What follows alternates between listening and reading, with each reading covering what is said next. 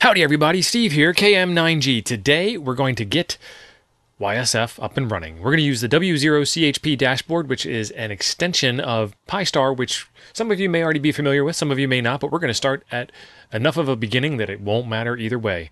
And at the end, we'll be making fusion contacts over the internet. Some things that you're going to need to get started with are a Raspberry Pi of some kind. A Raspberry Pi 02W is probably the lowest Raspberry Pi that I would recommend for this, or a Raspberry Pi 3, or a Raspberry Pi 4.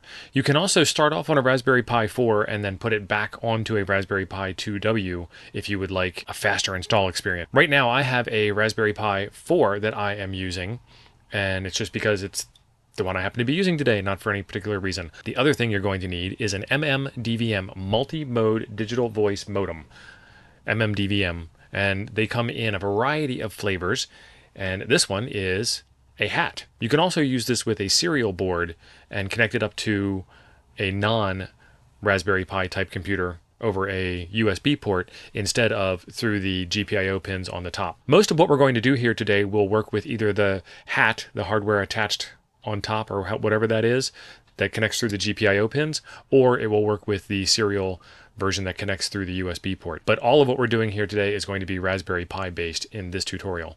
The other thing that you're going to need is some kind of fusion radio. So the Yaesu FT70D is probably the cheapest way to get into this and it's a fantastic radio to do the job. And that's the one that I'm going to be using today. Or the 1D, 2D, 3D, 5D, the 200, the 300, and the 500 mobile radios and probably a couple of other radios will also work just fine for you. As long as it says that it's C4FM or Yaesu System Fusion compatible, it'll work for what we're doing today. Don't worry too much about a lot of the nitty gritty details. Feel free to rewind the video as we're going through or look for some notes in the description down below because I will be taking notes for you so you don't have to. We're going to go to w0chp.net. This is where Chip has his dashboard that you can download. This link will be in the description down below for you. While we're here, we'll take a look at some of the other hardware that this is compatible with. It looks like it works with an Orange Pi Zero, a NanoPi Neo, a ZUMspot Mini, and a ZUMspot Elite. We're going to do the Raspberry Pi, but the process is fairly similar for all of these things. Raspberry Pi disk image download. So I'm going to click on this and I'm going to download it. And a dialog box will pop up asking you where you want to save it. Just remember where you saved it because you're going to need to open it up in the next step. Now that we have that downloaded, we need some way to write it to an SD card. The tool that I recommend for writing SD cards is Balena Etcher. It is super painless, super easy. The website for this will be linked down below as well, etcher.balena.io. And then we just click on download and pick your favorite operating system. This will work on just about any operating system out there, which is fantastic. I'm running this on Windows today, so I'm going to download and install the Windows version. If you really want to make this easy, use the portable version, and click the download there and it will just run. You won't even need to do any kind of installer. Okay, next up, grab your SD card. I have this SD card holder that I keep all of my Raspberry Pi and Xiegu X6100 SD card images in, as well as my DigiPi SD card images. I'm going to pull out one of those cards and I'm going to pull out the card converter. They make these that hold the small cards, or you may have a small card reader, or you may not and you can use a USB adapter. And I'll have one of those linked in the description down below for you as well. But right now I'm going to use the big SD card adapter and I have an SD card reader right in my laptop. Flash from file. Remember that last part where we wanted to remember where the download file was downloaded to for the dashboard? This is why we need it. I pick the file that I downloaded, the WPSD underscore RPi latest, and choose open. And it is a .xz file, which is a compressed file, but Balena Etcher is your best friend here because it will automatically decompress that for you. It's already got my SD card picked, and I know it's the SD card in question because this is 63.9 gigabytes, and my internal hard disk is, number one, not, uh, not selectable, because that's one of the cool things about this tool but number two, my internal hard disk is a terabyte and it's not 64 gigabytes. So I know I'm safe there. And then I just click the flash button, Windows prompting me that I'm going to do something dangerous and overwrite a drive. Uh, I, I want to do that, so I'm going to go ahead and say yes. And away we go. And the flashing is completed. So next up, what we need to do is create our Wi-Fi configuration file to make our lives a lot easier. Remove the SD card, SD card reader, whatever, from the machine and then put it back in the same machine.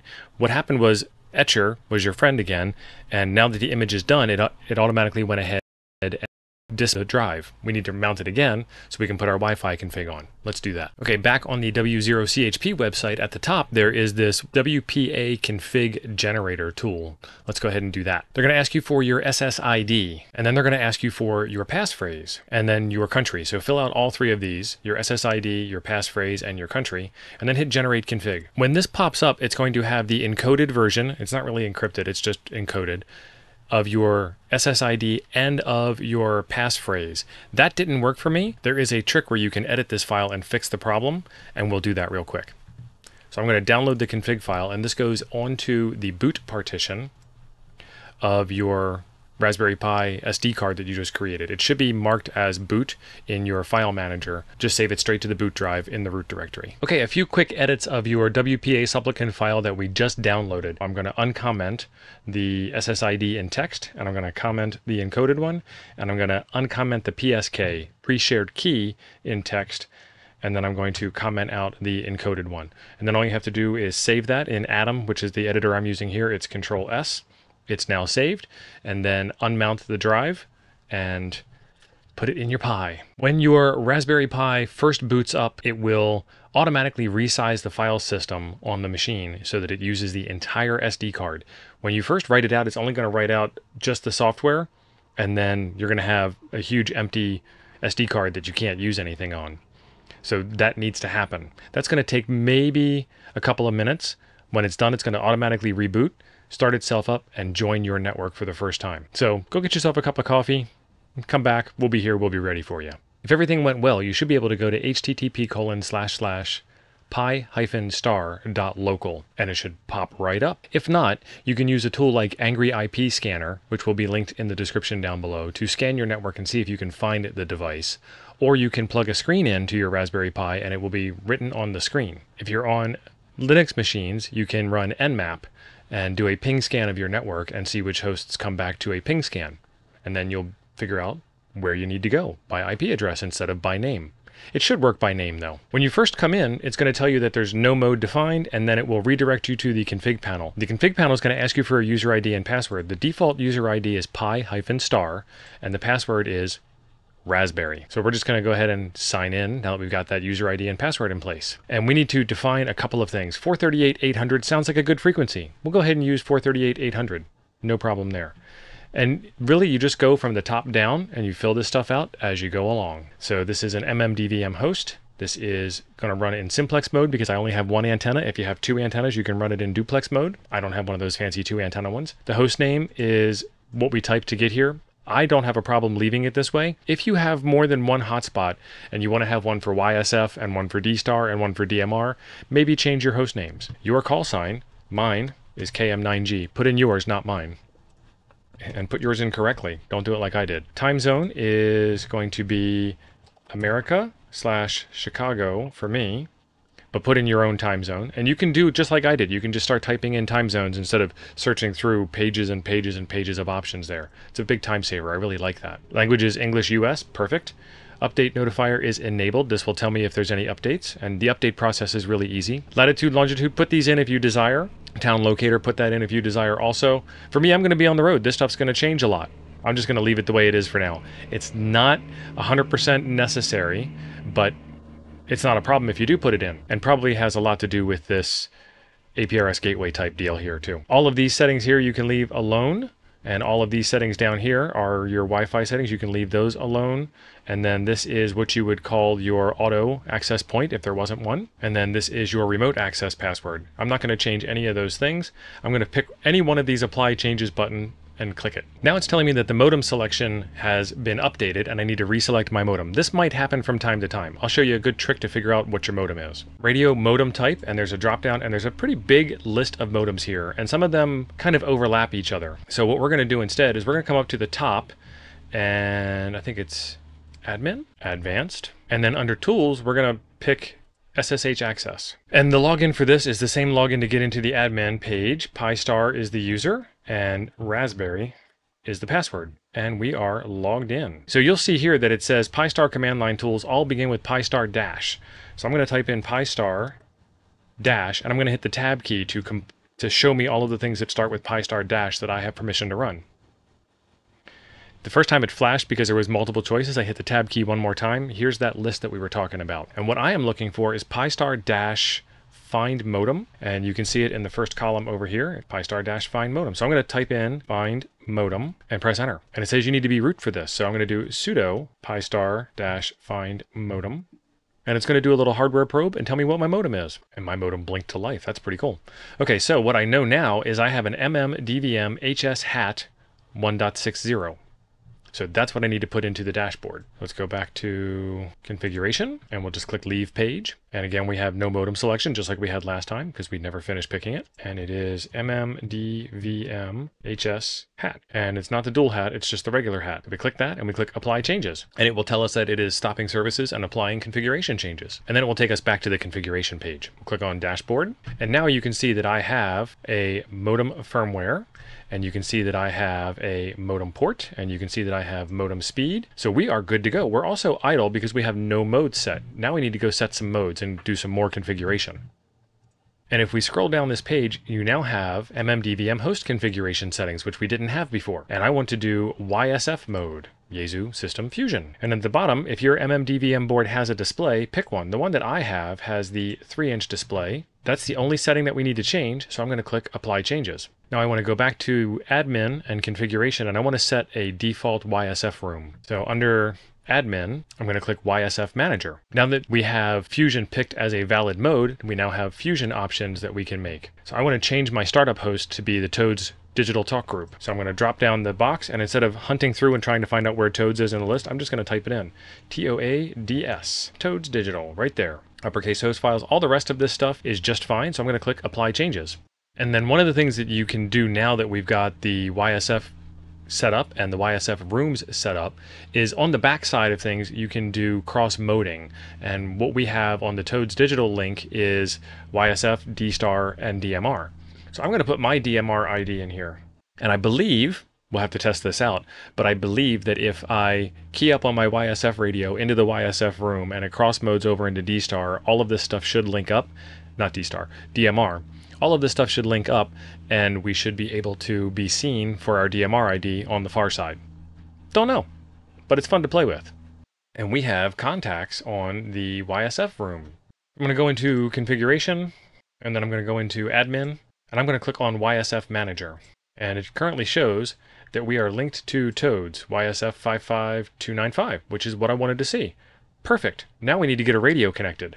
One of the really neat features about the W0CHP dashboard is the live caller option. If I click on the live caller option, this page here pops up and this is a fantastic way to have a little dashboard running off in the corner and you can see who's talking and it could be you when it's your turn to talk. When you key up, it'll show that you're currently the live caller. And when the person you're talking to keys up, it'll show them instead. Right now we can see that Keith VA3KSF is currently running the show. So I'm going to put that down in the corner here so we can have it kind of in the background so we can see that it's working. And then we're going to play around with the radio a little bit. So this is the Yaesu FT70D. And the most important thing that you have to do, well, there's a lot of important things, but the most important thing you have to do when you're configuring this is set your call sign in the radio. Long press F to get into the deep F menu, and then you want to turn to option 64, which is the last option.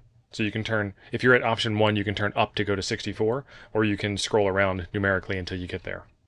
And it says, My Call. I'm going to go ahead and hit the F key to go into that, and then just make sure that your call sign is in the radio. In my case, my call sign is KM9G, and there she is in the radio. If you make a mistake, you can go left with this button, or you can go right with this button to correct your mistakes. But if you don't put this in, you will be speaking YSF and the dashboard, the Pi-Star will ignore you because it doesn't trust you make it trust you by telling it that you are you, and then it will trust you just fine. So that's the configuration to get your call sign in. Press the F key to get back out, and then long press the F key to go out of the menu and back into radio mode. In our case, when we set up the Pi-Star dashboard, we chose 438-800, which was the default. So I'm going to put 438-800, where's the zero? 438-800 into my radio, and then I need to push the mode button over here to get this to show DN for digital narrow. And now you can see down in the bottom corner here, it shows DN for digital narrow. You are good to go as far as making YSF contacts goes in the room that you're in. You can do a little bit more than this, but this would get you started. And I keyed up and it took over the frequency because this is my Pi star. So you can see now it says KM9G, Steve McGrane, that's me, in Luck, Wisconsin, which is where I happen to be right now. So we are working, but we can go deeper than this. You can get slightly more interactive with your Pi star from your radio, from the comfort of your easy chair, if you go into wires mode on the FT70 and probably on some other radios, but I have the FT70 here, so that's the one that I'm going to show you. I need to press F for function once, which gets me into the function mode, not long press, just a short press, and then I want to hit the AMS button down at the bottom and it's working on getting into wires mode. And you can see that it's now connected to Toads. And so now I'm a lot more interactive on the radio than I was before. Doesn't seem like much of a difference because you're still PTT, Kilo Mike 9 Golf on Toads Digital. And it still works just fine. You can see it keyed up in the in the display down here in the corner, and then when I unkey, it recognizes that I've unkeyed. So it did the thing. Great. Now, why do you want to be in wires mode when you're doing this? In order to get into wires mode, you want to press the function key here, and then you want to long press the AMS key down here. And you'll see it says wires, and then it connects and we're in. And now it shows toads. Okay, so what's one of the things you can do from your couch while you're in wires mode on the radio? Now you'll understand why the volume key on this is a little weird. I can now use this dial here to change over to a couple of different things. And I'll just show you one of the one of the easier things to do. So you get to this one that has the star on it, and you punch in the number of the room you want to join. I'm going to join the HRCC link, which is 01037 7. So I type in 01037 and I push the AMS key at the bottom and it's now connected to HRCC link. Kilo Mike 9 Golf on HRCC link. And I've keyed up and identified. And nobody's there. So I'm going to switch it back to Toads. I'm going to go to that star section and I'm going to punch in the Toads number, which is 55295. I'm going to hit that AMS key again.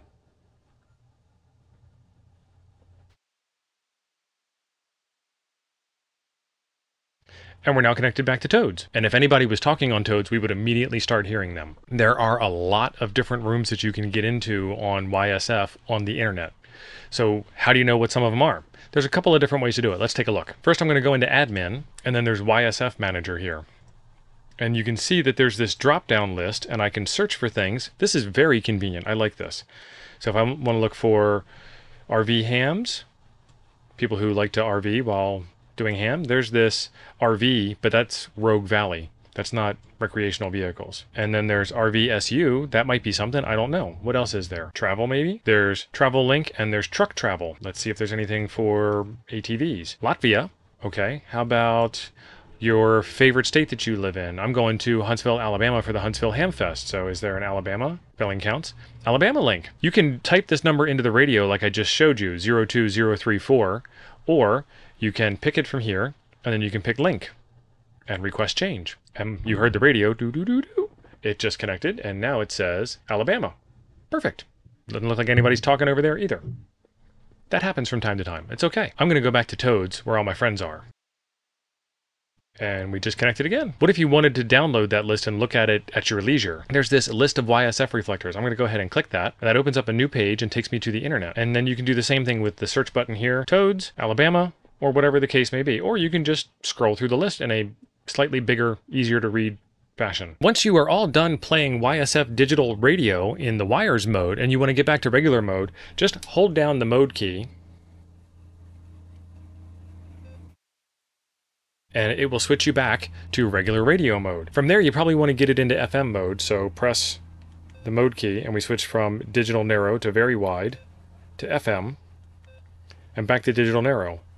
I want to be on FM. A quick note about big antennas and big signals. This is a 5 watt HT and you probably want to turn it onto low power mode since you're typically going to be sitting in the same house, same location, same ham shack as your Pi Star and you want to use as little power as possible so you don't cause any interference. You probably won't cause any interference, but you also don't want to overload the front end on your Pi Star MMDVM hat. If you have any comments or questions about the procedure that we went through today or if you need a little bit more information, feel free to leave a comment down below or to join us on the Toads Discord. There's a digital radio room on the Toads Discord where we talk about YSF, D-Star, DMR, and Pi-Star hotspots all day long. And we'd love to have you over there. There is also links in the description down below for all of the tools that I used in this video to make this connection possible. Otherwise, there's a video right over here I think you might enjoy next. Thanks for being awesome. I'll be over there waiting for you.